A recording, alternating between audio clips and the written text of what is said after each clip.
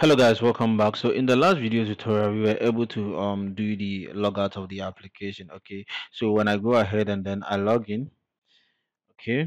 And i try to log out it should work. So this is the um login process and i am able to log in.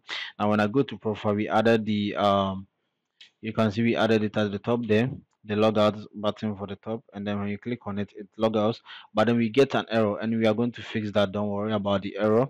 I will explain to you why we are getting that error and then we will fix that okay? So um what we are going to do now is um we are going to do work on the auto logout and then the auto login okay? But i will need some packages which i've already uh, um added to my to my pubspec.yaml okay? So if you go here you can add those two packages there okay? So i am adding the shared preference and then the rxdart okay? So i will start working using the shared preference okay? So in a sense you can think of um, the shared preference as a local storage but then it's not used for like um a database okay? We don't use it like a database or like an sqlite or something. We just store information um some more information in a key value pair like the way we add uh, maps in our code okay where we have the key and then we have the value. Okay so we use the key to retrieve the value from the map okay? In this sense you think of it as if we are storing a map in our local storage which we can use later okay?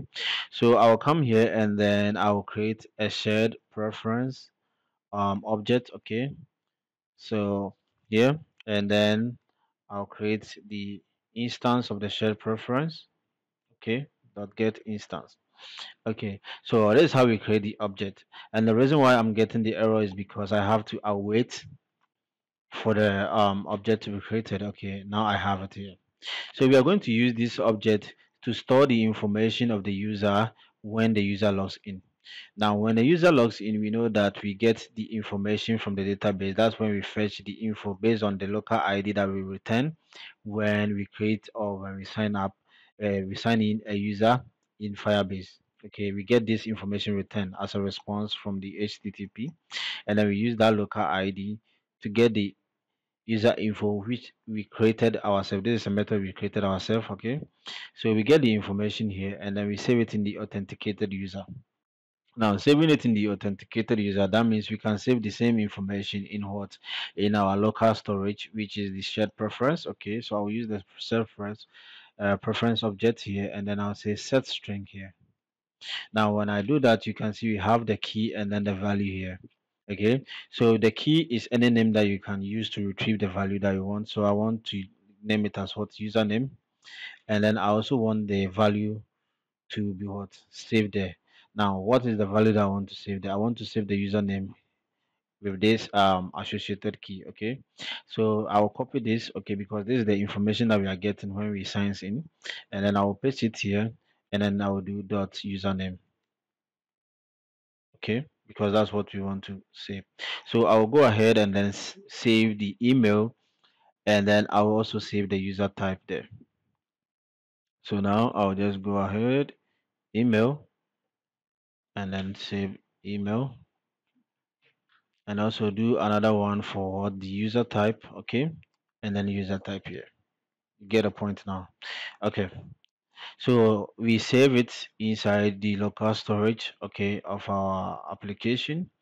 And now when we also sign up we also want to save the same information in the um, local storage okay? So i'll copy this and then i will come inside here after adding the user information to the database i want to save it in the local storage okay? So in the local storage we are not going to use the authenticated this um um variable that we created okay? Because the reason why we are not going to use this variable or object that we created is because if you look carefully we only um get information when we sign in.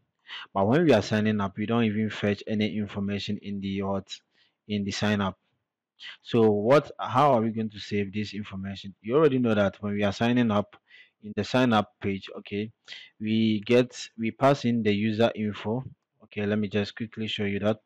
You can see we have the user info passed in here. So i'll open my sign up page here. And then in the sign up page i think on the submit let me um okay on the submit here and then we come here okay you can see that we are passing in the user info here. And then the user info is this okay where we have the email and then username user type and everything there. Okay we pass this kind of um, map here into the authenticate method okay. And as we are working in the authenticate method we have it here okay. So we only have it when we are signing up. When we are signing in we don't have it. That's why we retrieve that information from the database and then use it here so when we are signing up this becomes what null because there's there's nothing like we are getting that information here. So we can't use that here. So i'll just take this one out and then use the um, user info that we passed there okay? And then we have the email i'm um, sorry i want the username here. And then i'll copy the same thing and then do it for the rest. So i copy this and i paste here and i will change this towards email and then i'll also paste code here and then I'll change this to user type and then I save it. Okay, so that means now when we sign in or when we sign up, we save the information in our local storage. Okay, so I just want to add some more spaces to just, um, yeah. So now how do we use this? Okay, so now we save this into the database. Okay. Now the reason why I not in sorry not in database local storage. Okay. The reason why I decided to save this in the local storage is because of the auto authentication. Okay.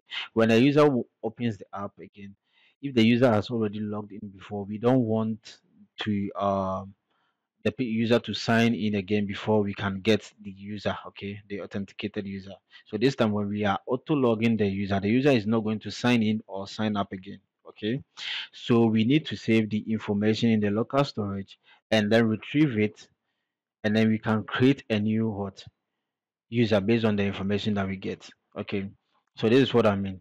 Now i can come here and then create a new variable called auto authenticate or auto login something like this. Now with this auto login i can create the shared preference object okay and then I can also have the shared preference just like we did before. Get instance I get the instance and we always have to await for that. So I will use the async here and then I'm going to await here. Now when I do this then it means I can now have access to what? The value that has been stored inside. Okay. But before I come here and then continue to reach I mean get the value I want to explain something to you when we create um, a user in Firebase, okay, let me just go there. And then we create a user, we get an expire um, time, okay, or um, seconds, okay, which is 3600 seconds, which is one hour, okay. And then we get what the token, yeah. We can refresh the token to get, um, I mean, to extend the um expiry expiry date, okay, or the expiry time, okay so what happens is when a user logs in in our application because we are using the um, firebase okay this is going to expire in what? One hour. So that means in one hour the the id token will, be what? Will be invalid which means that the user cannot um, perform some operation. Let's say the user can now cannot um, add um, food to the system cannot make some purchases based on the functionalities of our app. The user cannot do that because the um the token has what expired in one hour. Okay. So we have to make sure that we set in um a timer and all that to check whether the it, um the expiry time is up and then we can log out the user.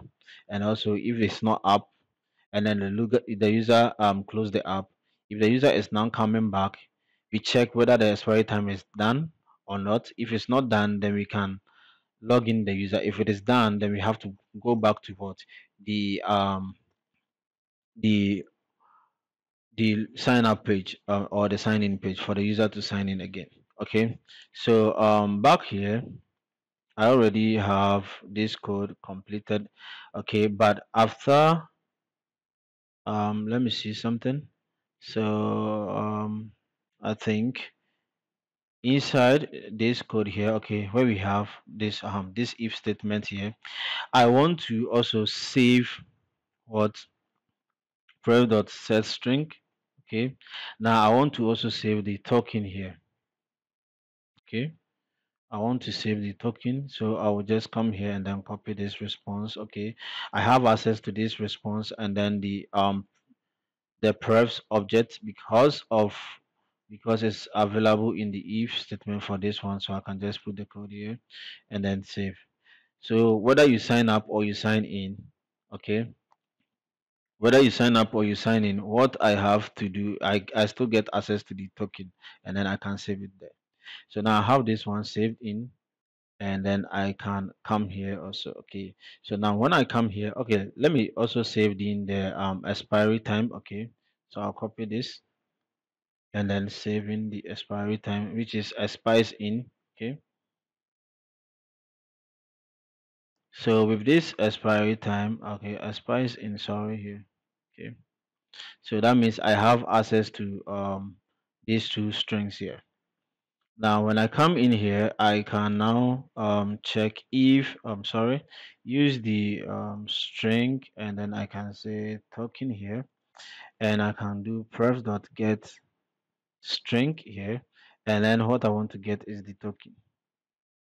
Okay. Now I can check if the token is null. Okay. If the token is null then that means I want to do something else. Okay. So if the token is null that means the user was never logged in or something okay? So if the token is null then i want to set the authenticated user to what? Null. And i also want to set the authenticated user info to also null and then notify the listeners. Notify listeners okay? So that's basically what i'm going to do here for now okay? So we save the share preference we save the information into our local storage and then we retrieve it to check if it is null okay so i'll leave the video here and then um in the next video i will show you how we can use the timer to um log out the user and then we can use um check the expiry time and then we log in the user automatically okay? Because i think this video is already long more than 10 minutes now. So i will leave the video here and i'll see you in the next video